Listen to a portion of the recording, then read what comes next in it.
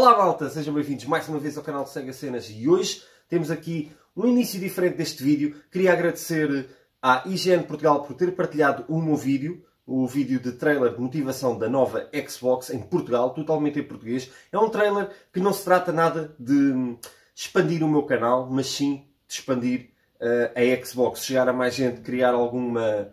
fazer a diferença, como eu disse, criar algum interesse na Xbox isto depois de eu também já ter visto uma vez mim, uma reação minha ao of Dragoon selecionada pela Forever Entertainment e publicada no seu canal. Desta vez a IGN partilhou o meu vídeo, um vídeo que eu nem sequer pus a rentabilizar porque não se trata do meu canal. Trata-se de mudar algumas mentalidades, tentar ajudar um bocadinho um, para que as pessoas possam ver que existem outros sistemas e outras coisas que podem jogar e sistemas que estão muito bem. E, claro, uh, fiquei bastante contente com isso, mas há um problema muito grande Há um problema muito grande porque assim que houve pessoas que se aperceberam que o vídeo era meu aqui do canal, houve pessoas que foram, foram para lá, vocês podem verificar na IGN Portugal, no post, fazer comentários uh, de baixo nível, que é quando vocês veem que as pessoas são mesmo de baixo nível, a atacar-me por todos os lados e a dizer barbaridades e coisas também que não são verdade, mas uh, também muito obscenas.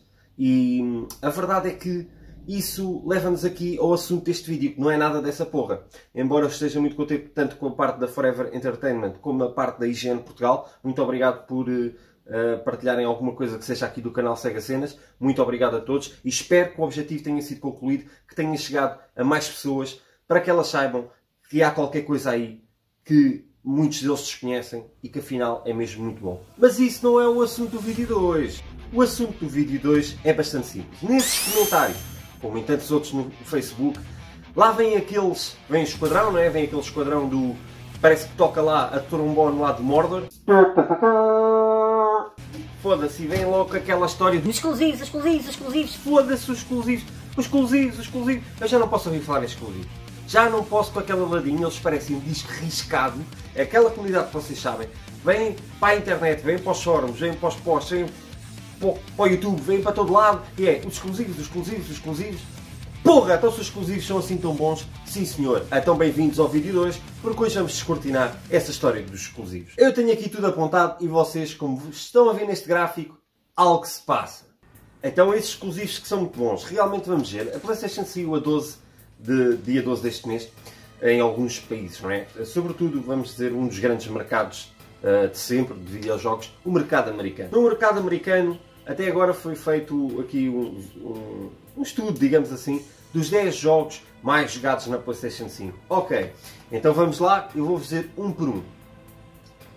Em primeiro, em primeiro, em primeiro, em primeiro, já estão a ver, é pá, será Spider-Man, tipo urso patrocínio, Miles Morales, será Demon Souls, Demon Souls, deve ser o Demon Souls certeza. Em primeiro lugar, então, temos o Demon, Demo, Demo, de, Demo, não é Demo, a Demo, a Demo, a Demo. Em primeiro lugar, temos Astro's Playroom com 52%.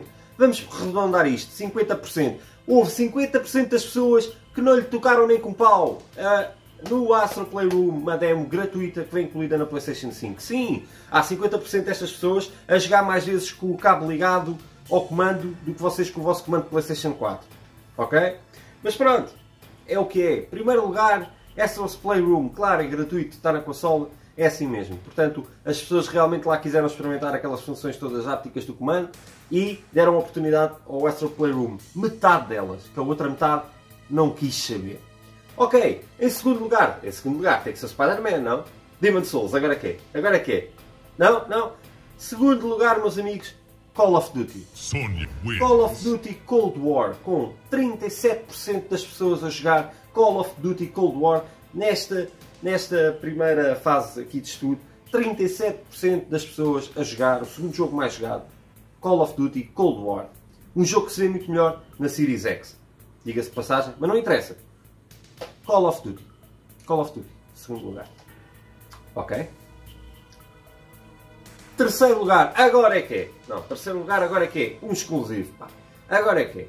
Terceiro lugar temos Spider-Man Miles Morales com 36%. 36% da totalidade dos americanos andam a jogar Spider-Man Miles Morales, que é uma DLC de um jogo de PS4 com 5 horas. Dura 5 horas.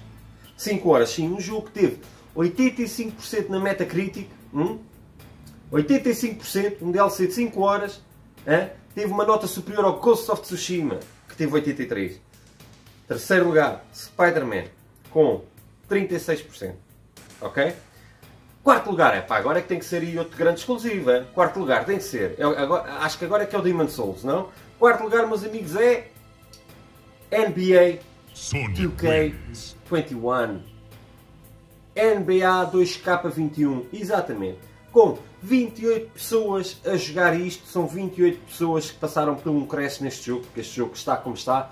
Caso vocês ainda não saibam, podem consumir um bocado de imprensa americana e vocês já vão ver o que é que acontece também neste jogo. Em quinto lugar, será que agora é que é mesmo o Demon Souls? Quinto lugar, quinto lugar é o Modern Warfare. Mais um Call of Duty. Modern Warfare, 23 das pessoas andam a jogar Modern Warfare. É um jogo que nem melhorado está para esta consola, para a PlayStation 5, mas o que é certo é que andam a jogar nela e o jogo também saiu muito melhor na Series X.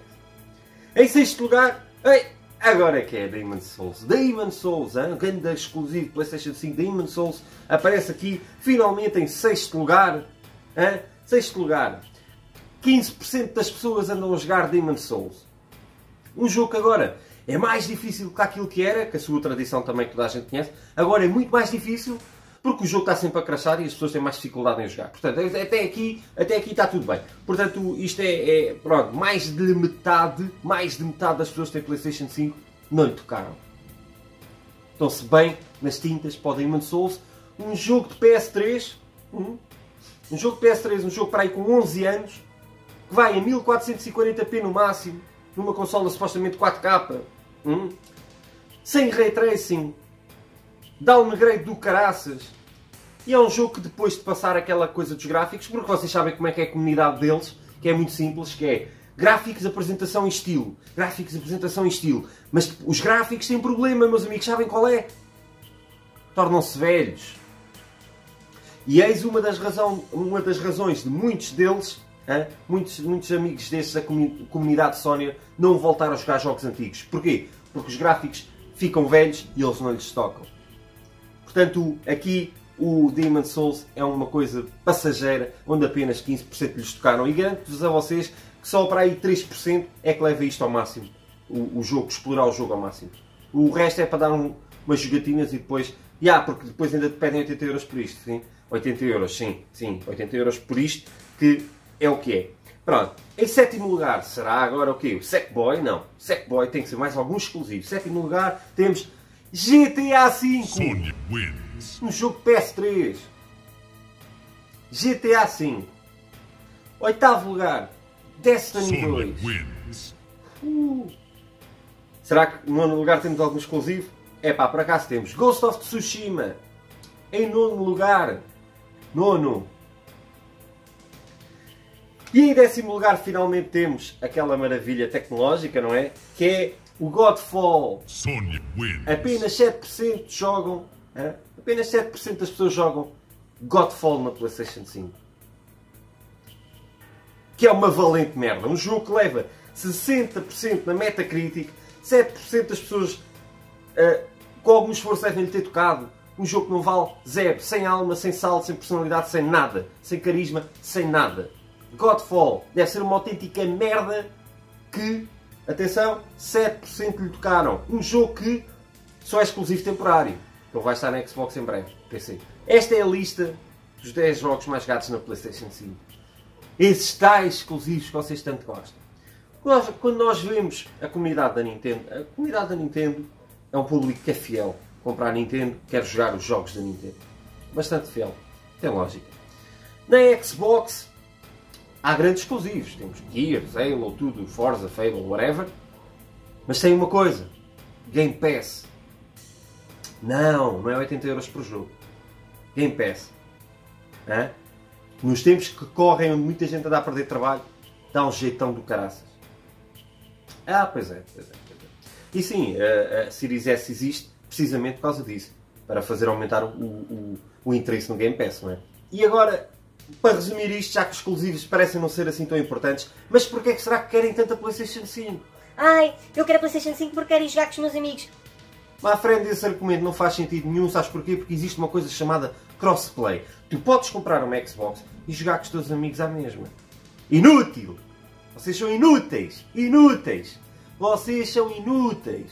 Porque a verdade é que vocês querem comprar é pela marca. Ai, é Play, é Play.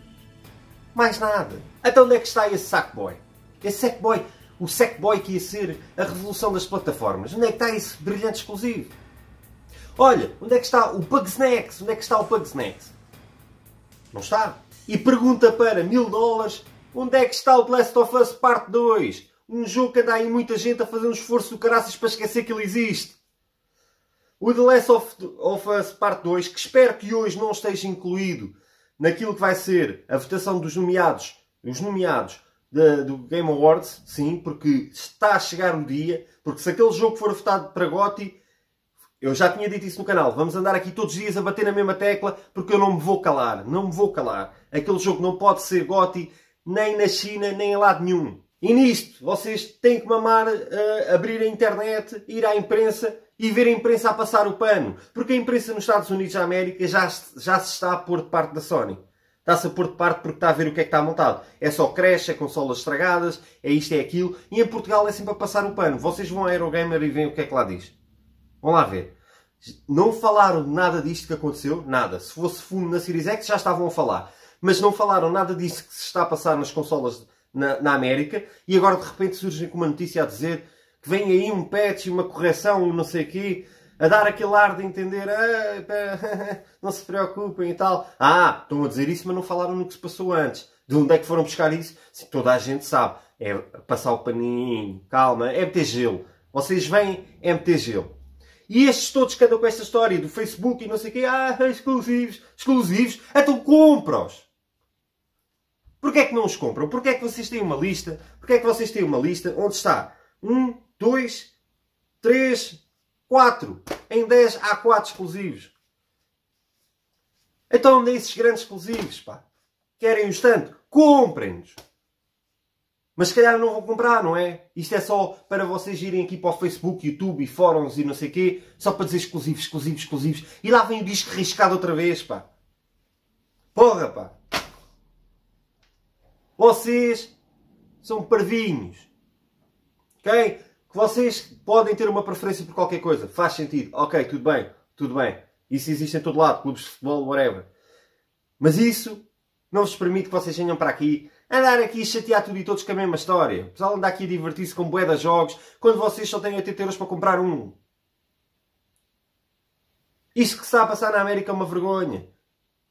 E vamos a ver o o quanto isto vai afetar a Sony no futuro. Ok? Vamos a ver, vamos a ver. Aquilo que se está a passar com a PlayStation 5, eu ando há meses a dizer neste canal. Meses. Portanto, meus amigos, hoje ficamos só por aqui. Uh, o disco riscado dos exclusivos continua. E é isto que, que vai ser. Esperem até todos os estúdios que a Microsoft tem neste momento começar aí a mandar os exclusivos. Todos. Esperem, esperem que vocês depois, se calhar, ainda vão ter que levar com o karma. É uma coisa que é lixada. Portanto, segue a cenas off. Espero que tenham gostado do vídeo. Subscrevam se quiserem. E nós vemos em breve. Fui.